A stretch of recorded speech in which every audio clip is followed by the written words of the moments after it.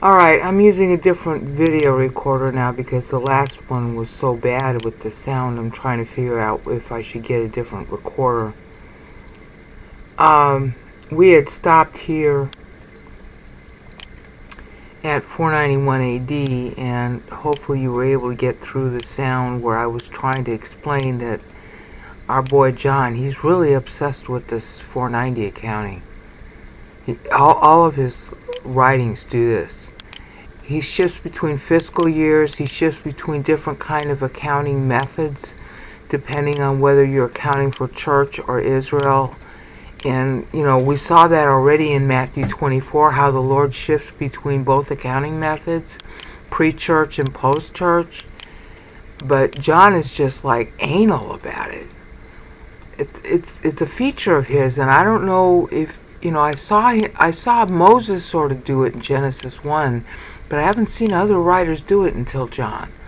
Now he's basically making something out of every single one of these numbers is functioning in some kind of dateline fashion, not just the ones that it is typical. Typically you only do them when they're divisible by 7. Now Moses did that in Genesis 1 where he was playing on each one of the numbers. And Daniel did it only for the first couple of lines that I could see. But John is doing it all the time.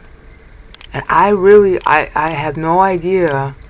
I mean, I know why he's benchmarking it for the history, but I don't know what doctrinal meaning he's using here. I mean, some of them are obvious 44, 37, you know, 19, 10. I mean, but when he gets here, when he's reconciling to the 490s here and here and here and here, he, he's just going excuse the expression, apeshit. And uh, the history is that important, but I haven't seen other writers reconcile like this. So I don't really know what to say about it, to add to the last increment where the sound was bad. Now where we have to go now is really kind of pregnant too, and it's going to be hard to talk about this. Who not written names. And of course down here is in the book of life. I, there's a lot of doctrine I have to explain about that first. There's this doctrine about being in the book of life. And it's variantly taught and usually poorly taught. But if you go look at katalepo, and see, most people don't even read the Greek, so they don't even know how to tell this. If you go look at katalepo, which is a Greek verb, and you search at Pan Bible, it's not hard to understand what this is saying. What it's basically saying is that when you're born, that's when you're a human being, not before. Genesis 2:7. That's clear even in English. The pro-lifers, of course, can't read the Bible in any language, so they miss that. But you shouldn't. Just go read Genesis 2:7. When you're born, you're breathing on your own. God breathes the soul of you into your nostrils at birth when the body is out and on the ground. And at that moment, you are written in the book of life. Okay? Now maybe they pre-set it up because of foreknowledge, but I don't think so. I think they wait until you're born. You have to be born first to be in the book of life. But, and Moses talks about this to God all the time, especially in like Numbers 14.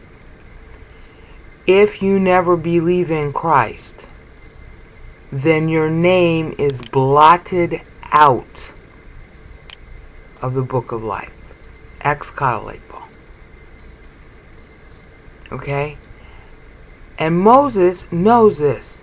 And in Numbers 14, he says to God, blot me out of the book of life.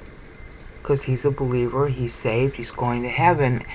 And so you have to be blotted out of the book of life to not go to heaven. Which means that if you were born and you were too young to believe in Christ, or you were born and you, you were retarded or something, or end up having an injury so you're not even capable of saying yes to the gospel, you automatically stay in the book of life and you go to heaven. In order to go to hell, you have to say no when you understand the gospel and keep saying no for as long as you live. It's really hard to go to hell, is the point. Okay? Really hard to go. You have to be really stubborn. You have to really hate the gospel. And you will be given umpteen bazillion times chance to understand it and to say no before God lets you die. Lets you die. Because it's due diligence disclosure. That is a legal rule. You can talk to any attorney about it. Basically, what it means is that if you've got some, especially an asset, that you could use or lose or you must consent to have, you have to get a lot of disclosure about what that is and about your choices and the options if you refuse or accept.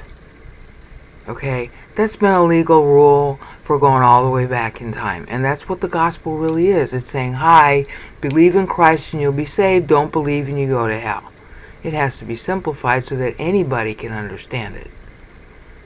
But that's due diligence disclosure. You can like it, you can lump it, you can say, well, I don't understand, that doesn't make sense. Fine, here's more information. And you get a whole lifetime to know. You get a whole lifetime to say no, and you have to say no your entire lifetime. So if God catches you at a moment when you've just been on a bender and you lost your girlfriend and you feel, you know, really low and, you suddenly remember, because he uses moments like that, the Holy Spirit recalls to your mind, that's John 14, 26, he recalls to your mind what the gospel is, and at that moment it just sounds good and it makes you feel good and you believe in Christ. And then, you know, five minutes later it's like, what was I doing believing in this stupid gospel? Too late, honey. You got saved five minutes ago. See, that's how clever God is. So, in order to be blotted out of the book of life, names not written means blotted out. At the end of it, they're not written. Okay? That's why, you know, the expression is not written because it's not written by the final, at the final point. Same expression is used in Revelation 20 but you were written at the beginning and you must be blotted out. And Moses knows that. And he said to God, blot me out. You see how that goes? Now, it's real important to say that because what this is going to cover is basically saying everybody whose names were not written in the book of life from the foundation of the world. Okay, so they're not written when you're born, it's written from the foundation of the world. Which actually is much smarter. See, God's always right, I'm always wrong. Um, that's much smarter because if it's written from the foundation of the world when Christ paid for all the sins on the cross, okay, then Satan could check off the people paid for on the list to make sure that everybody on the list got paid for. And then he's also going to use that to make sure that everybody who's on the list gets born. And if one person doesn't get born, it's a mistrial. Satan wins.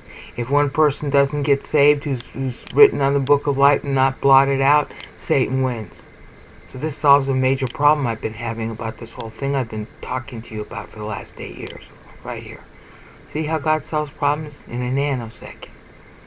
Okay, so the names who aren't written from, from the beginning of the world, meaning people who God foreknows will be blotted out because they will never believe, they're the ones who are going to be the biggest, you know, saps for this.